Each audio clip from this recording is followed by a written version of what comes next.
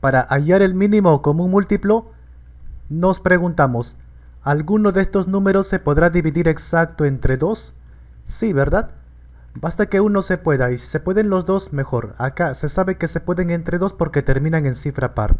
26 entre 2 es 13, 38 entre 2, 19. Ahora ya no se pueden entre 2, es más. Por ejemplo, 13 solo se puede dividir entre el mismo 13. 13 entre 13, 1. 19 entre 13, como no se puede, baja nomás. Ahora acá ya no se pueden entre 13, pero vemos que solo entre 19 se puede.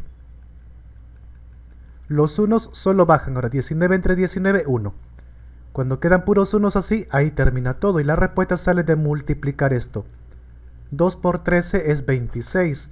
Ahora 26 por 19, 494. Así que este sería el resultado final.